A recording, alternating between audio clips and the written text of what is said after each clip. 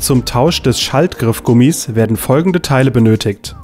Ein O-Ring, das Griffgummi, etwas Fett und ein schmaler Schlitzschraubendreher.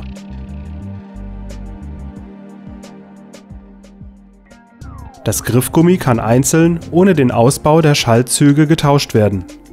Hebeln Sie mit einem schmalen Schlitzschraubendreher den Sicherungsring aus und legen ihn zusammen mit den alten Bauteilen zur Seite.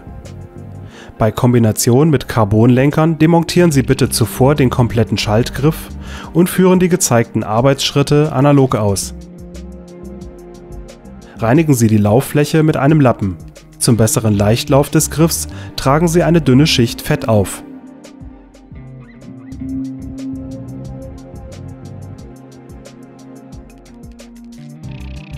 Legen Sie den O-Ring in den Griff ein und versehen beide Teile mit etwas Fett.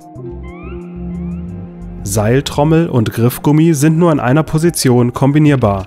Dafür sorgen fünf Zapfen, die in die entsprechenden Bohrungen in der Seiltrommel passen.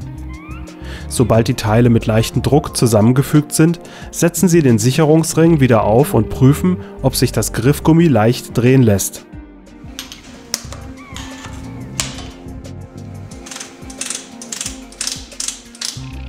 Mit der Montage des Lenkergriffs ist der Tausch des Schaltgriffgummis beendet.